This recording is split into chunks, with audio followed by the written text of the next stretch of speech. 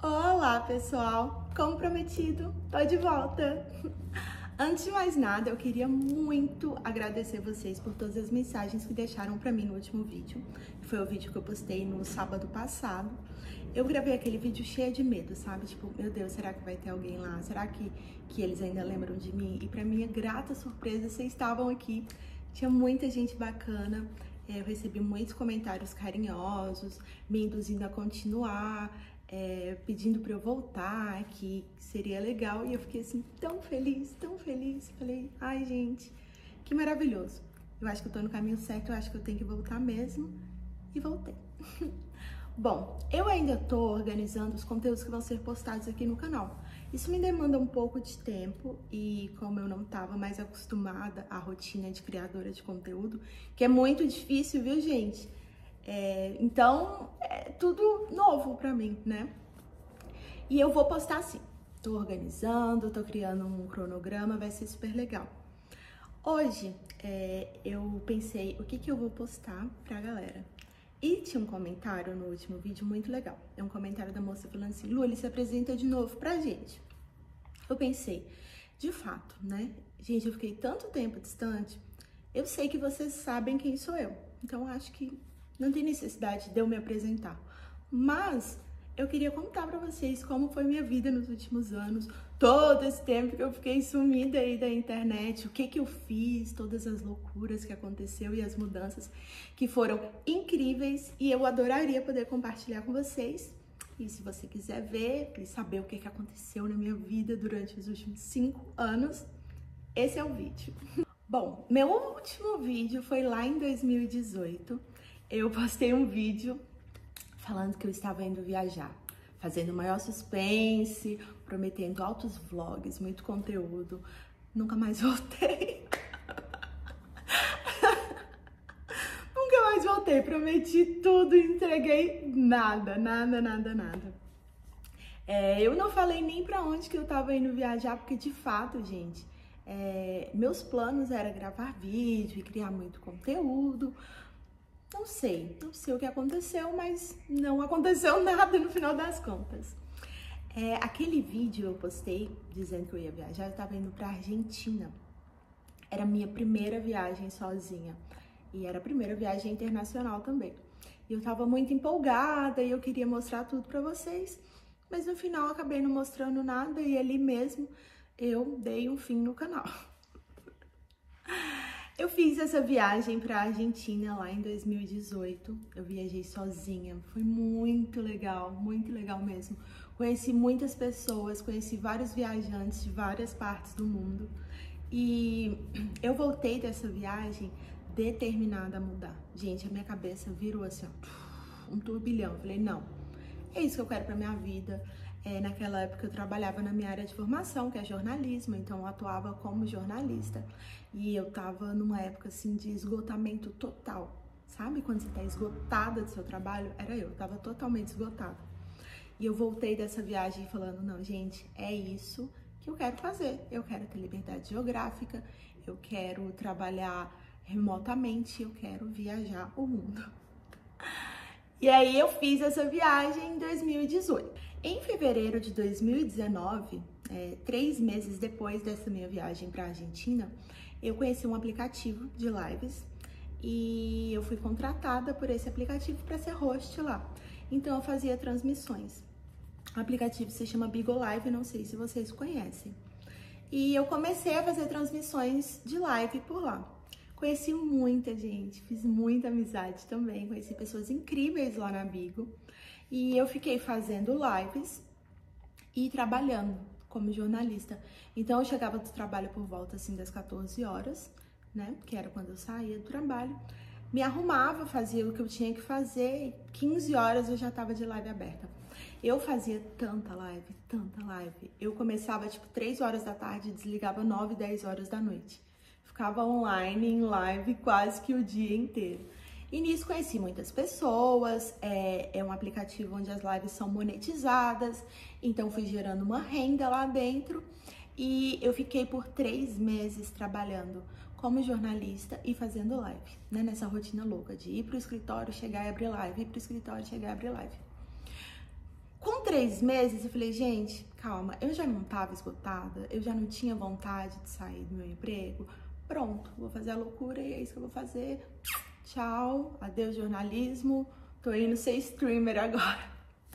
E fui, fui fazer live e foi assim, cara, eu chutei o balde e fiz a melhor escolha que eu fiz na minha vida foi essa. Bom, eu fiquei fazendo live por um tempo depois que eu saí do, do meu emprego como jornalista.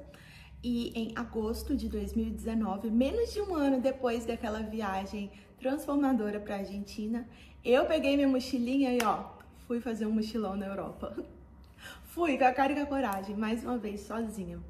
Nossa, cara, se na Argentina é, eu tinha mudado nesse meu mochilão, minha mente fez assim, ó. Eu falei, caraca, existe um mundo, gente, existe um mundo. Falei, cara, é isso que eu quero, é super isso que eu quero. Eu fiz esse mochilão sozinha pela Europa por 30 dias, eu fiquei um mês viajando sozinha. Eu fui em quatro países, conheci quatro países: Alemanha, República Tcheca, Áustria e Hungria. Fiz esses quatro países, foi assim, nossa, foi um despertar de consciência, gente. Eu, eu não sei explicar é, como viajar me transformou, como viajar me fez ser uma nova pessoa e abrir os olhos para um novo horizonte, porque eu tava assim, ó, fechada num mundinho e de repente tudo explodiu, sabe? E eu fiz esse meu mochilão em agosto de 2019 e, meu Deus, foi tudo para mim. Bom, quando eu voltei do meu mochilão, né? Se vocês quiserem, eu faço um vídeo só sobre isso. Talvez vocês queiram saber mais como é que foi, né? Posto aqui uns videozinhos das minhas loucuras, dos meus perrengues chiques pela Europa. Mas deixa aqui embaixo se vocês quiserem. Mas quando eu voltei desse meu mochilão, eu continuei fazendo live por mais alguns meses. Só que é, eu acho que eu acabei me destacando, sabe? Eu me dei muito bem dentro da plataforma, eu era uma boa transmissora e eu tive a oportunidade de virar uma agente na Bigo Live, que é basicamente uma pessoa que recruta, treina e cuida das novas roxas brasileiras contratadas. Nisso, eu abri a agência chamada Wave Agência, que é a minha agência de streamers. É, nossa, a Wave é meu xodózinho, sabe? Eu parei de fazer live e virei agente, então comecei a cuidar das transmissoras, a orientar, a ensinar e nossa, foi tudo para mim. A minha agência se chama Wave.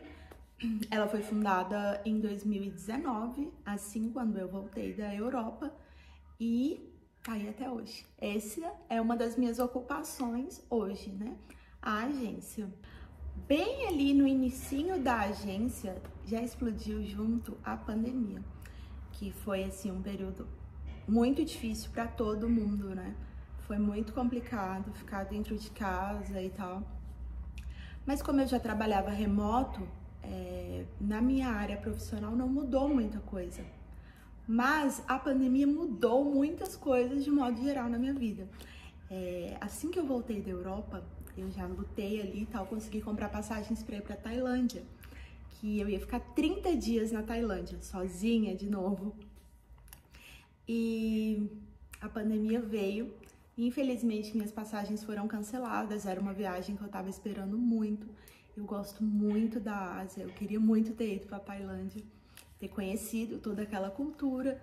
E acabou que não rolou, estornou minhas passagens. E eu fiquei bem frustrada porque, né, eu tive. A gente ficou. Não, não foi só eu, fomos, fomos todos nós, ficamos dois anos trancados dentro de casa, né? Gente, eu queria muito estar tá na Tailândia, mas eu tava trancada aqui dentro de casa. A pandemia enlouqueceu a gente, fez a gente inventar um milhão de coisas para fazer. E comigo, uma das coisas que eu inventei de fazer foi construir uma casa, né, gente? Nada assim muito. Só construir uma casa, que é esse espaço aqui que vocês estão vendo. Eu construí uma casa, estúdio, escritório, tudo junto. Foi um perrengue. Nossa, eu nunca imaginei que mexer com uma obra seria tão estressante. Foi bem estressante, sabe? Me cansou demais, mas valeu super a pena também. Eu, eu fiz muitas escolhas boas nesses cinco anos, sabia? Eu coloquei a cara e fui. Tudo que eu coloquei a cara e fui, deu certo. É, eu construí essa casa aqui, agora eu tenho liberdade para criação, eu consigo colocar minha criatividade aqui em prática, porque é muito tranquilo, eu tenho espaço. E, e aí foi isso. Em meio à pandemia, eu continuei meu trabalho na agência, cancelei uma viagem para Tailândia e construí uma casa. Foi isso que eu fiz durante a pandemia. Bom, aí veio, né, aquela parte final da pandemia, que a gente já tava, ai, graças a Deus, que as vacinas chegaram. E aí eu retomei minha vida viajante. Só que eu comecei, voltei a viajar aqui pelo país mesmo, porque as fronteiras ainda estavam bem complicadas e tal. E aí eu viajei para vários lugares. É, eu fui para São Paulo, fui para o Rio, fui, viajei aqui por Minas Gerais, fui para Bahia, fui para Alagoas, fui para Santa Catarina, fui para Curitiba, eu viajei para vários lugares, eu conheci várias partes do Brasil e junto com isso também conheci muitas pessoas legais. Gente, viajar é bom demais. Você conhece uma galera muito massa, muito. E foi o que aconteceu. É, paralelo a isso, eu continuo com a agência e criei a jornada Glow Up, que é o meu e-book onde eu ensino sobre, falo e, e dou dicas e ensino, né? sobre evolução física, mental, espiritual, através de rotinas saudáveis e falo sobre produtividade. Gente, é, é um e-book muito legal, viu? Não é porque é meu não, mas é, é muito legal. E aí eu criei a, a jornada Glow Up. E esse foi o meu segundo projeto dentro desses cinco anos. Então a gente já tem dois, né? Que é a Wave Agência e a jornada Glow Up. E aí foi isso. Eu continuei viajando ali no final da pandemia, fiquei com os meus dois projetos e tudo em paz e amor. Aí, no início de 2022, eu criei meu terceiro projeto, que é o Wave Paper, é, que é um site de esculturas de papel 3D, cheio de esculturas legais. E aí eu fiquei com três projetos, né? Que inclusive são os que eu sigo até hoje que é a Wave Agência, a jornada Glow Up e a Wave Paper. Eu tava muito feliz com a minha vida profissional, super realizada, mas mega frustrada com a minha vida emocional, sabe? Tipo assim, ai, super borocochô. Eu amo essa palavra. Super borocochô. E aí eu falei assim, não, agora já acabou a pandemia, agora eu vou fazer uma viagem, vou mais uma vez expandir meus horizontes, vou voltar top. Comprei uma passagem para ficar 30 dias em Londres. 30 dias em Londres. Falei, ai, ah, vou arrasar aqui. Fui lá na loucura e comprei. Uma semana depois eu fui encontrar com uma amiga em um bar. Pra gente conversar e tal. Eu saí do bar namorando. Gente, era só tomar um gin despretensioso e eu saí do bar namorando. E eu conheci um rapaz muito legal nesse bar. E não era só um namoro de brincadeirinha, era um namoro de verdade. E aí nós começamos a nos relacionar e a gente foi crescendo nossa relação, fazendo com que o nosso namoro fosse sério mesmo, né? Porque começou de um jeito muito estranho. E aí chegou, faltava alguns meses para eu ir para Londres. Eu falei, gente, vou, não vou, vou, não vou, o que, que eu faço? Aí eu muito apaixonada, né? Cheia de amor pra dar, eu cancelei. Cancelei. Não vou para Londres, vou ficar aqui vivendo o meu romance, o meu amor. E de fato fiquei. E mais uma vez eu acertei, viu, gente? Tô te falando, nesses cinco anos, gente, eu acertei várias vezes. Claro, eu, eu errei muitas também. Mas vou ficar aqui enaltecendo só os meus sucessos. Minhas escolhas de sucesso, gente. Mas sim, aconteceram muitas coisas difíceis também. Mas assim, eu quero falar para vocês sobre as coisas legais que rolou na minha vida nesses últimos cinco anos. E aí, não fui para Londres, fiquei aqui emocionada, vivendo um amorzinho. E agora eu namoro. Nós já temos um ano e um mês de namoro. Beijo, meu amor, coisa linda. Aí agora, no ano de 2023, eu assim, com a vida amorosa top, muito bem na minha vida profissional, muito feliz. Falei, hum, tem que inventar alguma coisa aqui para poder fazer que minha vida tá, ó. Vou tirar as tetas. Ai, gente, sou muito ridícula. Quem me acompanha há bastante tempo deve saber que eu tinha um peitão bem grandão, né? E assim, incomodava muito, era muito grande, pesava, era complicado, era complicado. E eu sempre quis fazer essa cirurgia, mas eu tinha muito medo, muito medo mesmo. E aí minha mãe, meu namorado, meus amigos, minha família me incentivou e falou: "Faz, vai dar tudo certo. Não é uma cirurgia tão complicada assim como você imagina. Ó, oh, foi sofrido, viu? Doeu demais. Mas eu fiz. E aí, cá estou eu. Com peitinhos.